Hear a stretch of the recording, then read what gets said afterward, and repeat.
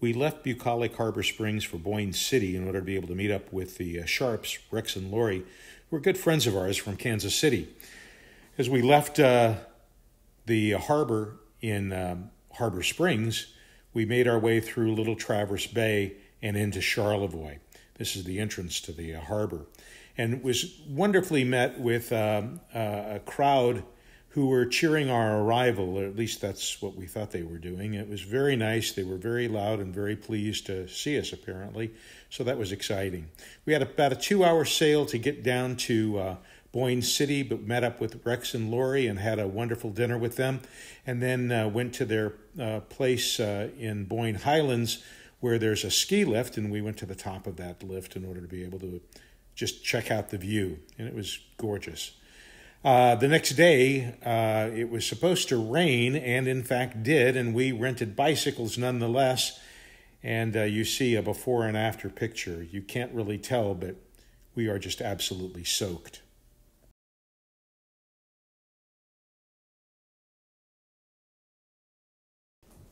Following our time in uh, Boyne City, we then had to uh, sail back out of the uh, Lake Charlevoix area, which was about two hours uh, motoring essentially all the way straight into the wind. We went through the bridge that you can see and uh, then had a delightful sail making our way around Leelanau Point and headed down to Leland itself. Once we got there, we were able to meet up with some former neighbors of ours, uh, the Powells, uh, in Leland. And here's a, a, picture of the fish town that you see on the left of our table, and to the right, the dam that uh, creates uh, the actual uh, uh, space around it. Uh, the Powells were gracious enough to come up from Glen Arbor to meet with us, and we had dinner there, and followed by just a wonderful sunset that we were able to capture in the evening.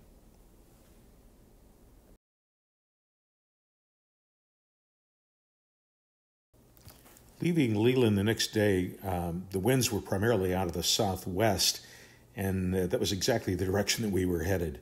So we uh, took the opportunity to sail while we could and headed directly toward uh, South Manitou Island. It was there we saw some uh, freighter traffic and, of course, the Sleeping Bear Dune, which is such a, a big presence in that area and uh, separates uh, the mainland from the South Manitou Island.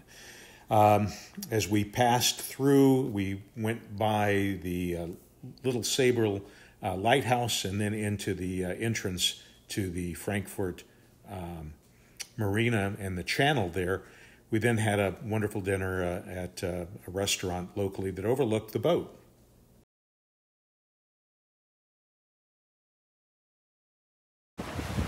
All right, we have just left Frankfort headed for Ludington, we think.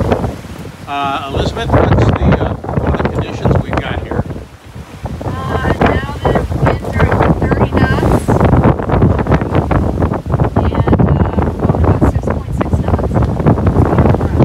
30 knots, 6.6 knots. Uh, waves are about, looks like.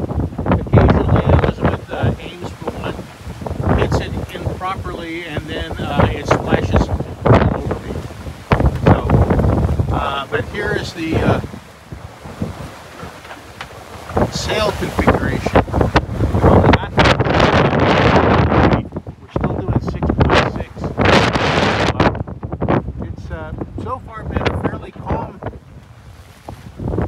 uneventful sail. Ooh, that was a little rough. Um, but, what now? We'd like it to stay that way. We'd like it to stay that way.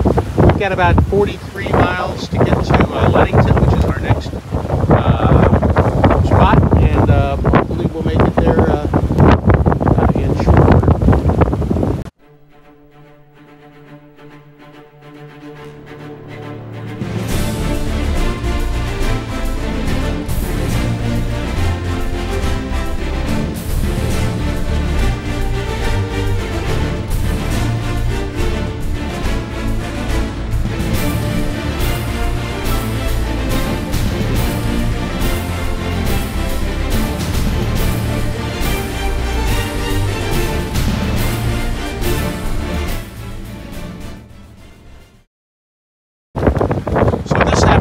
way down to uh,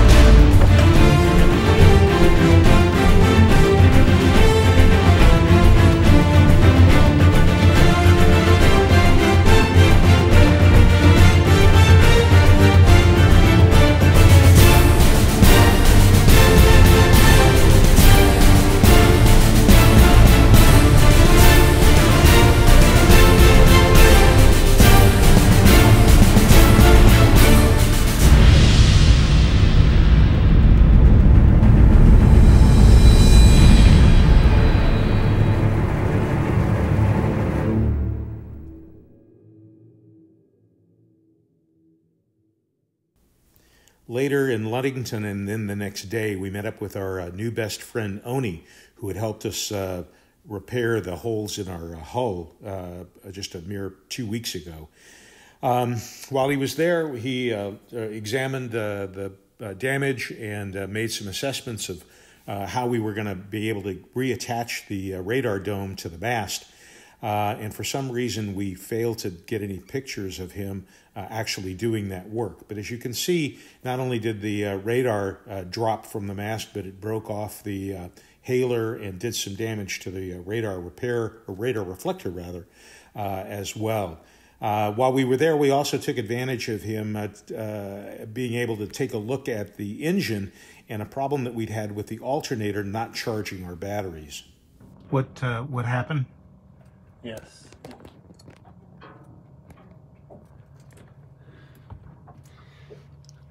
See, this is a num this is a butt splice design for number 10 or 12 wire, and we have an 18 gauge wire here, so the connector is just way too big and wasn't crimped properly. So we're going to install a smaller one. Following Oni's repair, we went back to the marina and did some uh, odds and ends that we needed to take care of, and uh, had a wonderful dinner at uh, our favorite restaurant of ours in Ludington called Table 14. We then had some a spectacular view of a sunset uh, later that evening, which was just wonderful.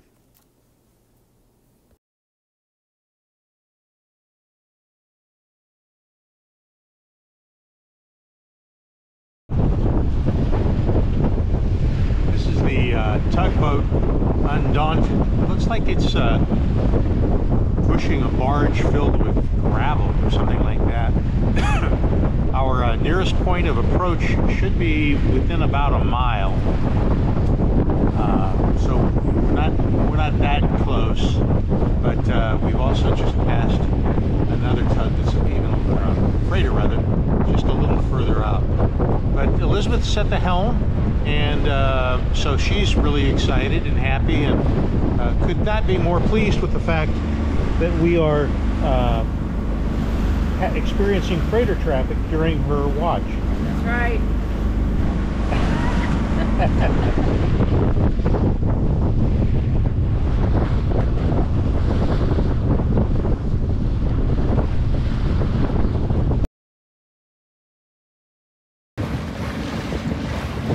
Here we are. This is the uh, the tug Undaunted, just crossing uh, in front of us, headed uh, south as we head west Sheboygan uh, in our crossing.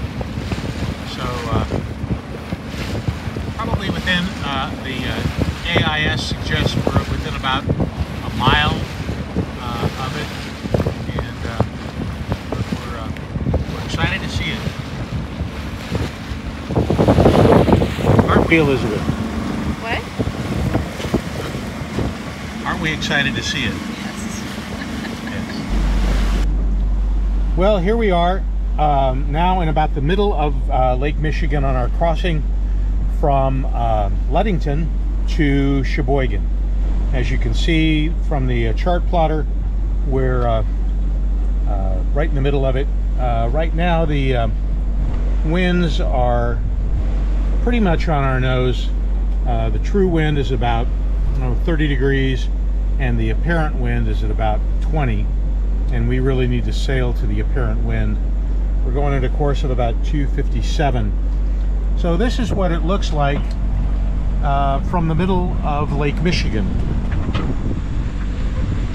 Essentially, we are completely surrounded by water. And uh, really not very much land be able to observe in one direction or another. So this is our view from the lake.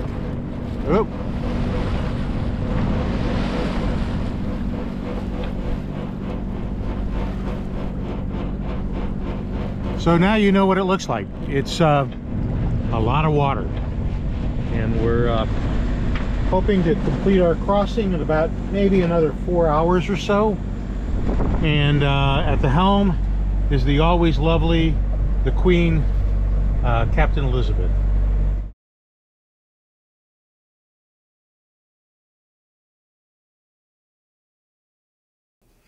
Our time in Sheboygan was fairly short lived, and we wanted to get on our way down to uh, Milwaukee and then ultimately back to uh, Waukegan. Uh, we had dinner in, in uh, Milwaukee at a, a market down in the historic 3rd District, which was fun.